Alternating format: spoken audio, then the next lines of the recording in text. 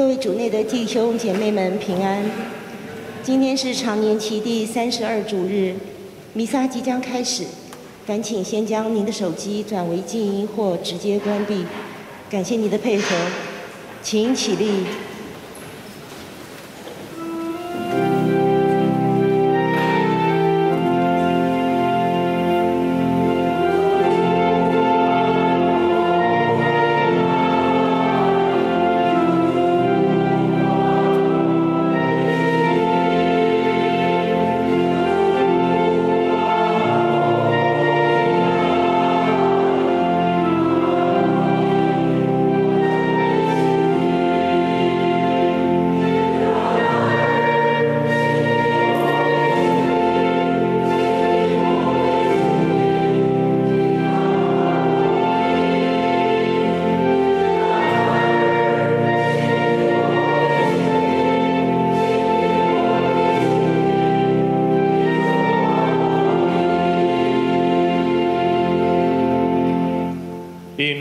父及子及圣神之名，愿天父的慈爱、基督的圣宠、圣神的恩赐与你们同在。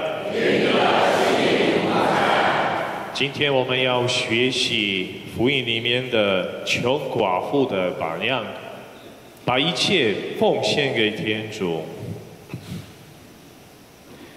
各位教友，现在我们大家认罪虔诚的举行圣祭。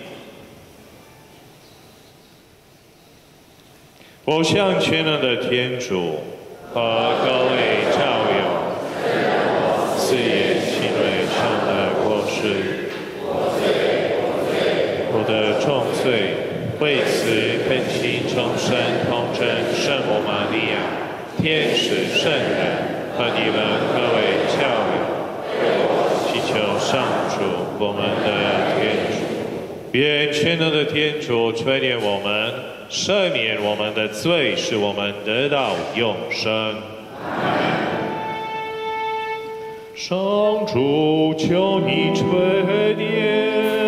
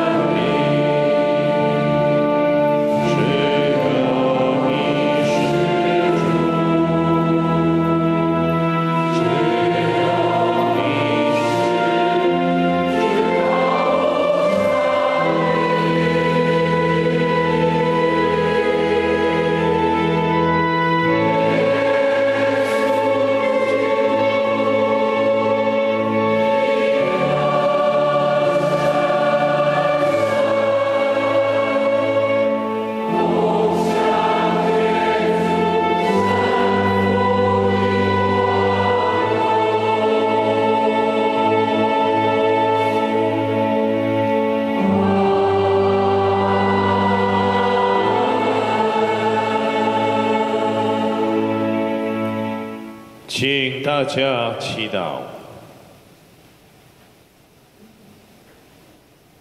全能仁慈的天主，求你铲除对我们不利的一切障碍，使我们能以自由的身心遵守你的诫命，奉行你的旨意。以上所求是靠你的子，我们的主天主耶稣基督，他和你及圣神永生有望。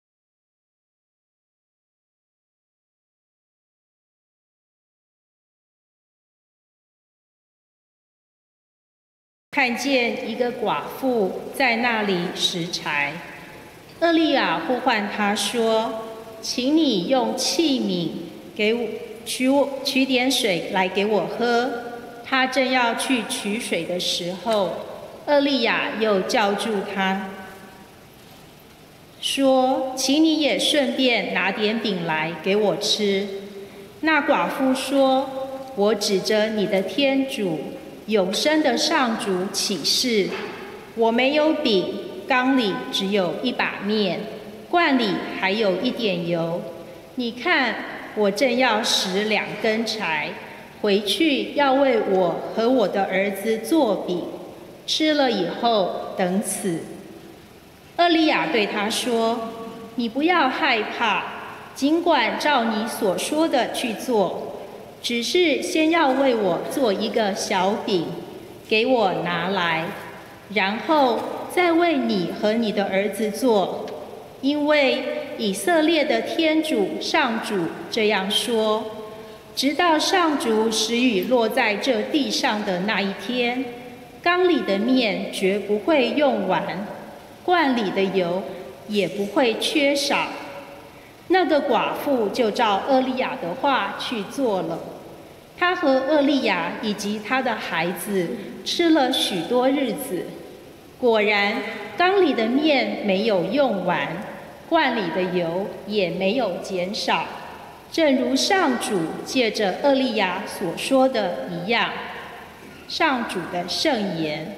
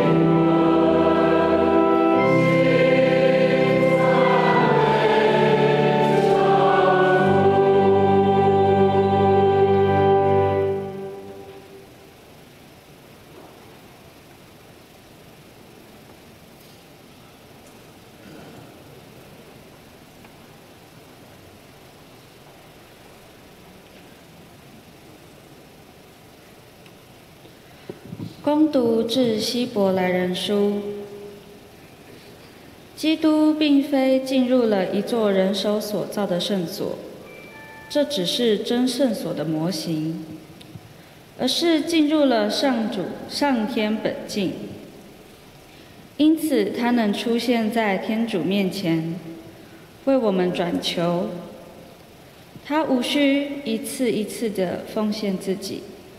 像大司祭每年应带着不是自己的血进入圣殿一样，否则从创世以来，他就必须多次受苦受难了。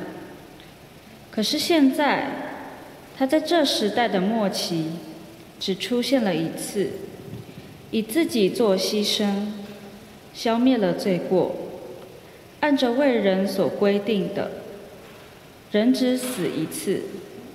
死后就是审判。同样，基督也只一次奉献了自己，为除免大众的罪过。将来他还要再一次显现，不再是为赎罪而来，而是为了向那些期待他的人施行救恩。上主的圣言。感谢。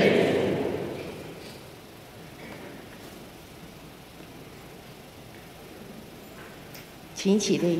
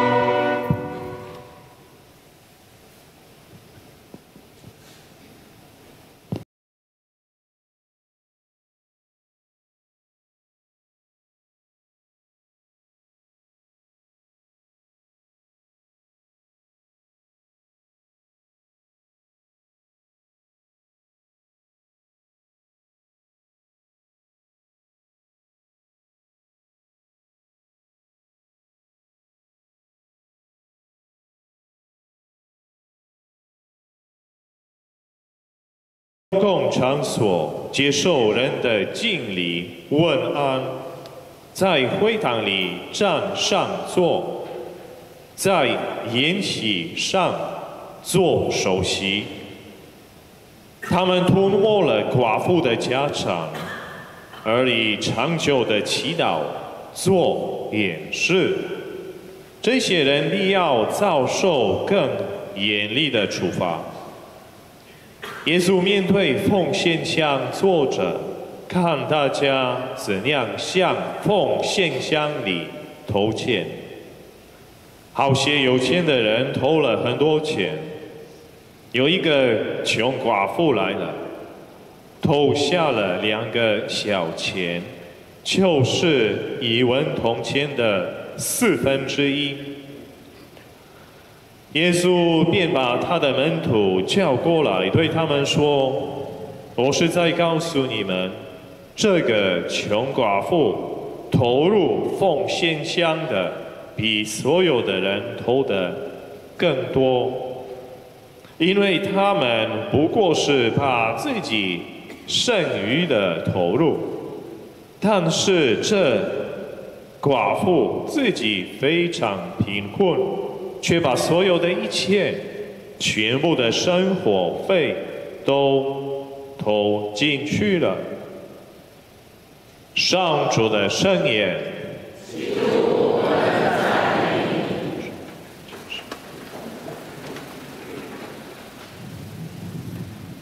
四部福音记载的是耶稣所做的所讲的。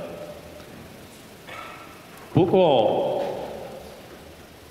四部福音的内容啊稍微不同，当然若望福音很不一样，跟其他的三部所谓的推广福音比较不一样。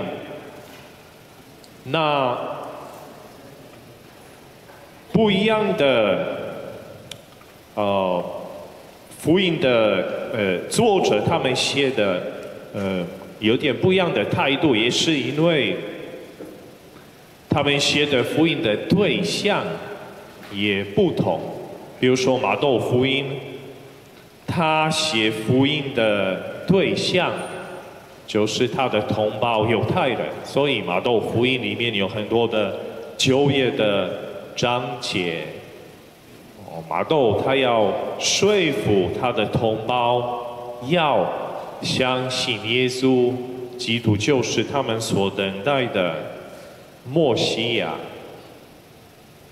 马尔谷福音呢？哦，今天我们听到了马尔谷福音，他的福音他写给谁看呢？写给外邦人，比如说罗马人。哦，希望。外邦人也会认识耶稣基督，相信他。所以我们刚刚听到了马尔谷，他看到，哎，马尔谷记载的是耶稣看到一位穷寡妇，他向奉献箱里投钱，而且马尔谷他写的非常清楚，很仔细的。写那位寡妇她偷了多少钱？哦，马尔谷是这样写的：寡妇偷下了两个小钱，就是一文铜钱的四分之一。哦，好像马尔谷对啊钱很有兴趣，所以这么仔细的写那位寡妇偷了多少钱，就是。两个小钱就是一文铜钱的四分之一，很清楚的。也是因为马尔谷要让更多的人、外邦人住很远的地方的人，大概知道那位寡妇偷了多少钱，反正是很少。这句话其实也有比较深的意义。除了马尔谷让我们知道当时那位寡妇她奉献了多少钱，这句话也有比较深的意义，也是一个提醒，给我们现在的人一个提醒。马尔谷写的是两个小钱，两个小钱，有时候。我们想要奉献给天主一些东西，比如说我们的时间。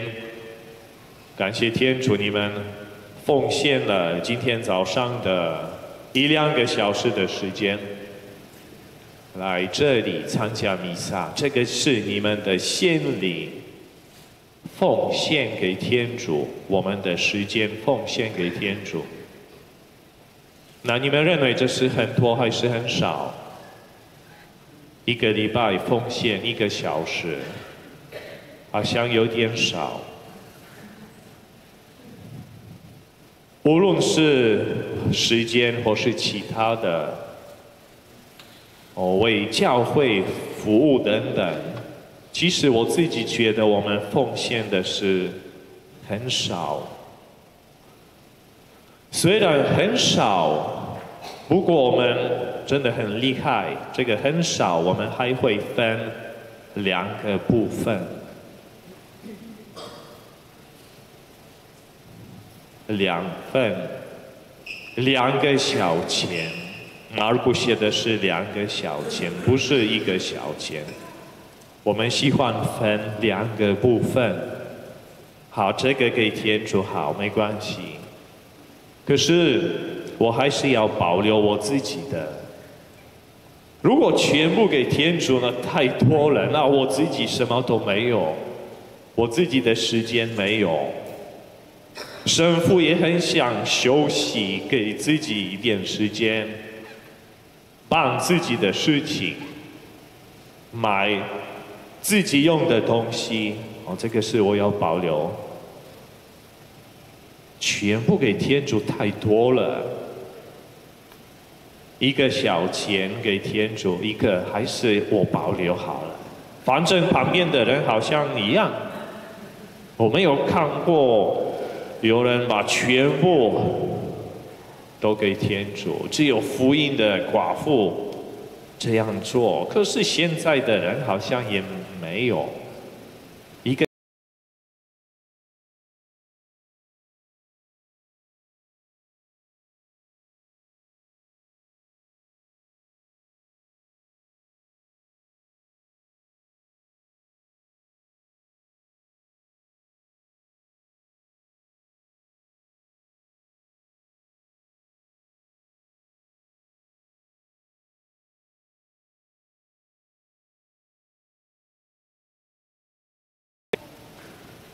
在今天的福音最后的那句话，其实也证明那位寡妇真的把一切全部奉献了给天主。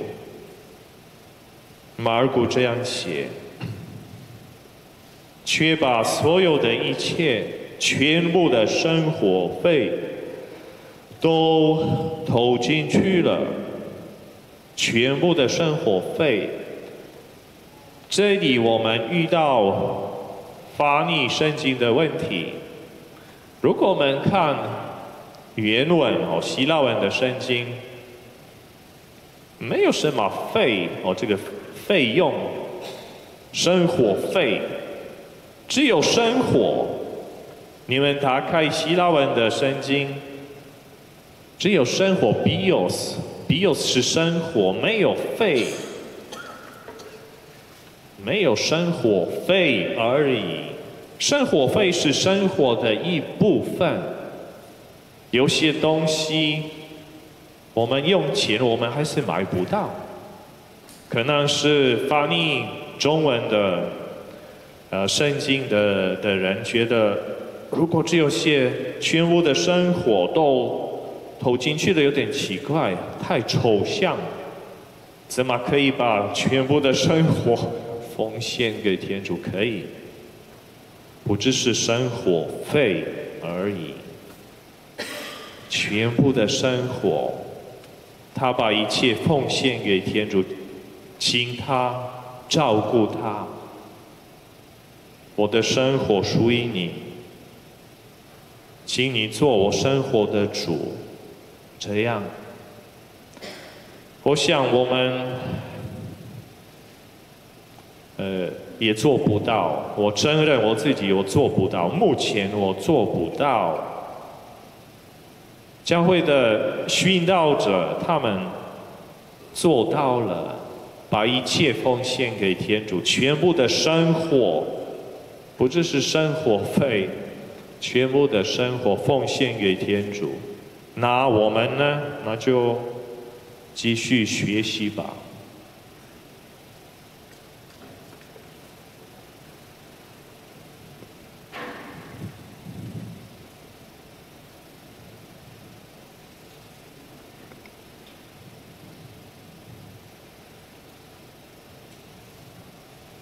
请起立。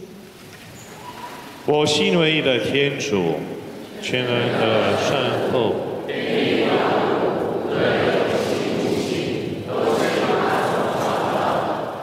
我心唯一的主，耶稣基督，天主的独生子，他在万世之前由神父所生，他是出自天主的天主，出自光明的光明，出自真天主的真天主，他是神父所生。与圣父同心同体，万物随之的他造成的。他为了我们的泪，并为了我们的得救，从天降下，取得肉躯而成为人。他在本取弥勒佛之身时，从那儿被埋葬。他正如圣经所在，第三日复活了。他生了天，坐在父的右。他还要光荣的降临，审判生者死者。圣火方式，行圣者，他是主其赋予生命者。他和圣父、圣子同受亲手。都相光荣，他曾借先知们发言。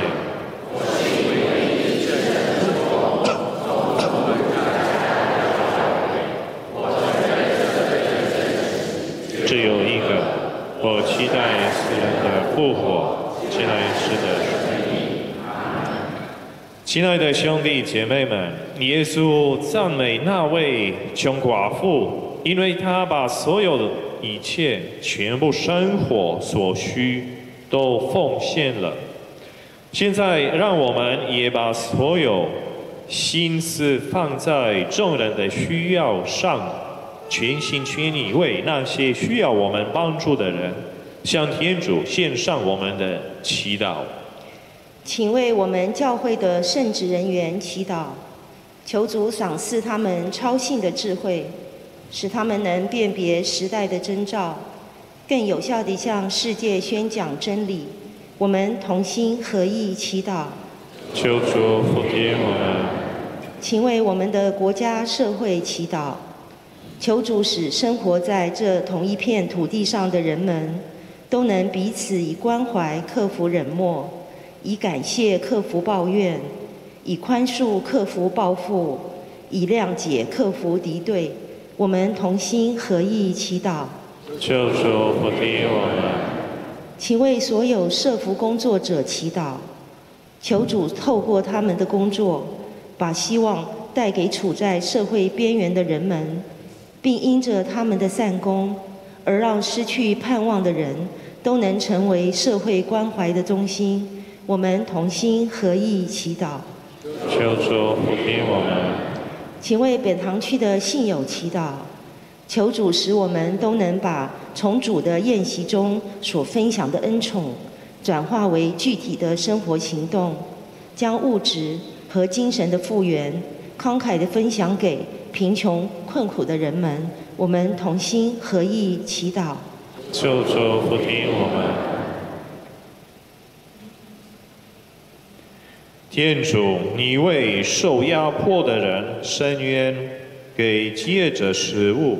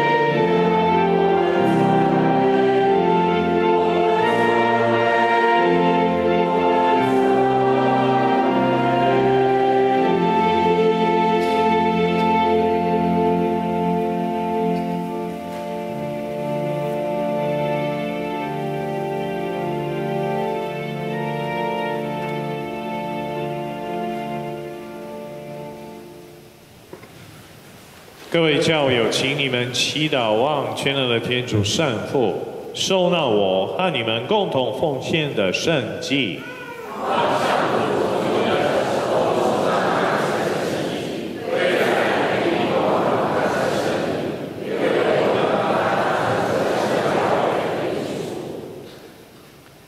仁慈的上主，求你垂顾我们的献礼，并使我们以热诚、真挚的胸怀来追念你圣子受苦受难的奥迹。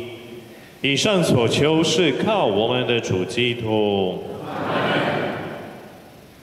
愿主与你们同在。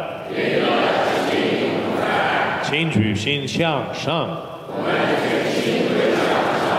请大家感谢主，我们的天主。主圣父，全能永生的天主，我们时时处处感谢你，是在世理所当然的，并能使人得救。你的子女犯罪，远离了你，你却借你圣子的血及圣神的德能，使他们重新与你团聚。正如你和圣子及圣神只是一个天主。你召叫人类成为一个子民，基督的奥体，圣神的宫殿，你的教会来歌颂你无比的智慧。因此，我们随同所有天使欢悦赞美你，不停的欢呼。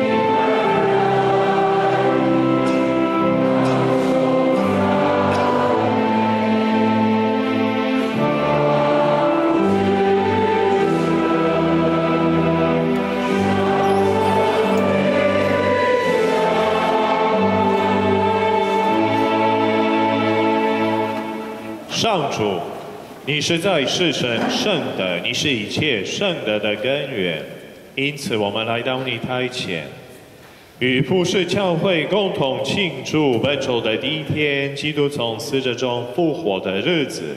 你高举他，使他坐在你的右边，我们靠他的名恳求你，派遣圣神圣化这些礼品。是成为我们的主耶稣基督的圣体圣血。他甘愿舍身受难时，拿起面饼，感谢的分开，交给他的门徒说：“你们大家拿去吃，这就是我的身体，将为你们而牺牲。”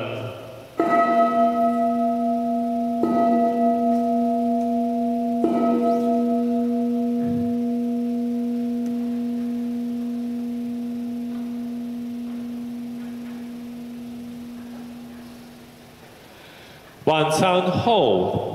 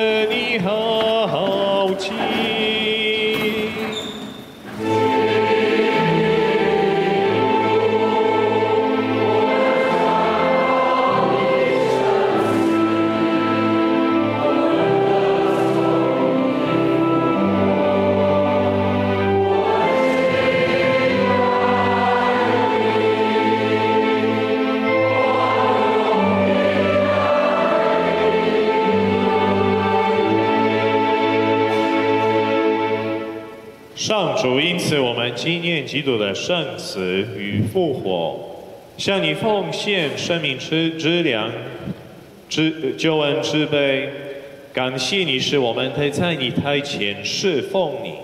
我们恳求你，使我们分享基督的身体圣血，并因圣神合而为一。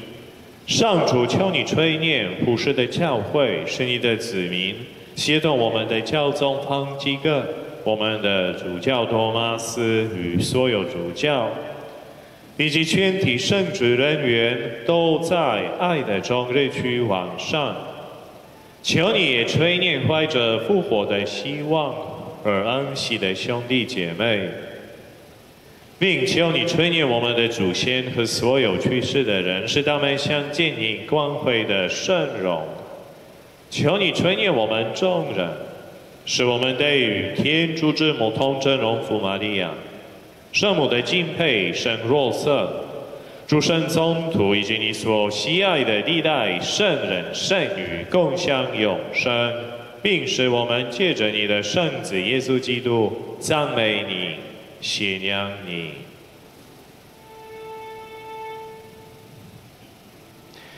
全能的天主圣父，一切崇敬和荣耀，借着基督，协同基督，在基督内并联合神圣，都归于你，直到永远。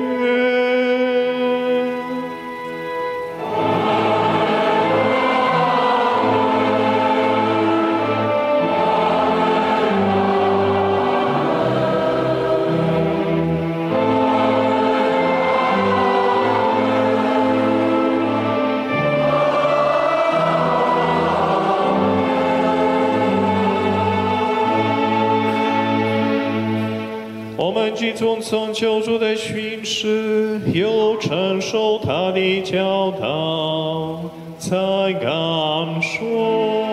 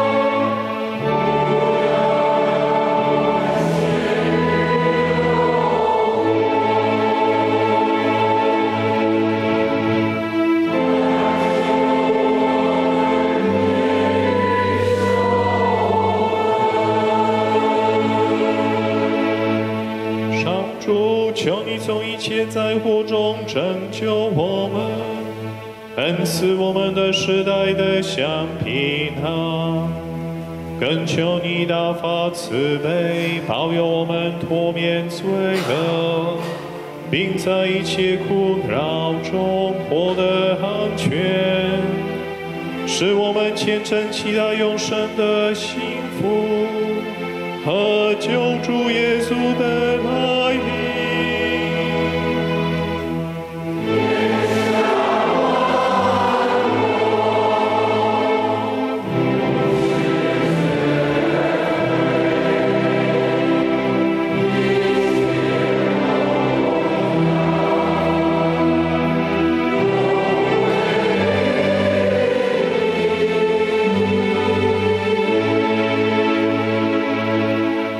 稣基督，你曾对宗徒们说：“我将平安留给你们，将我的平安赏给你们。求你不要看我们的罪过，但看你教会的信的平安正义的圣意，使教会安定团结。你是天主，永生永旺。愿主的平安常与你们同在。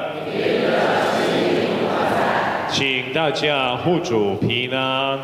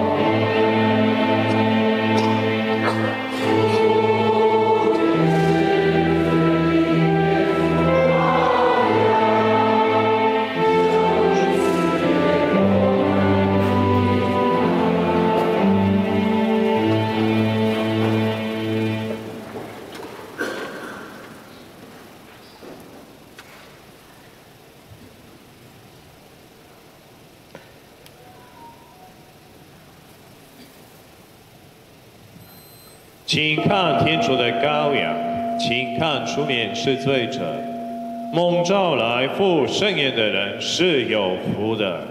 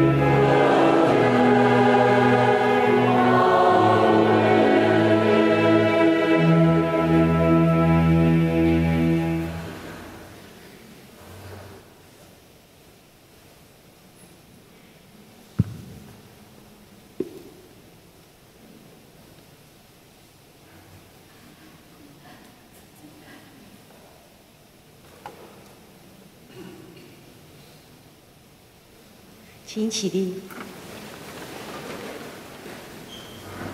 请大家祈祷。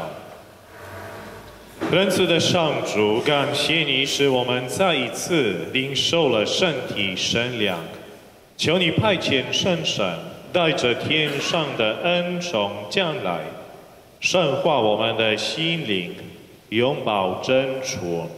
以上所求是靠我们的主基督。请大家坐下，谢谢。好，神父，各位弟兄姐妹们平安。呃，堂区在这边有几件事情跟大家报告。首先是我们堂的黄谷春菊姐妹圣名马达丽娜、马达勒娜。他在十月二十九号下午三点钟蒙主宠召，呃，他是我想大家都很熟悉，就是我们有一位黄守清弟兄，他是呃黄守清弟兄的母亲，那他也曾经在他身体还健康的时候有参加过我们的圣咏团，还有天下一家长青合唱团的呃担任团员，那他本身他是非常非常喜欢唱歌和音乐，呃，那黄家的家人他们会在这个星期五。十一月十五号的上午九点钟，在大圣堂为黄妈妈奉献殡葬弥撒以及告别礼。呃，如果当天您的时间方便的话，那也恳请您来圣堂送她最后一程。那我们也给呃家人一些很比较呃实质的安慰以及支持的力量。呃，有关黄妈妈的一些生平故事，我们有张贴在圣堂的后方，那大家可以参阅。那我们除了来参加她的殡葬礼之外，也请大家呃。尽可能的为他祈祷，特别在十一月份是追思已亡的月份。那我们希望仁慈的天主可以接纳他，让他的灵魂早登天乡。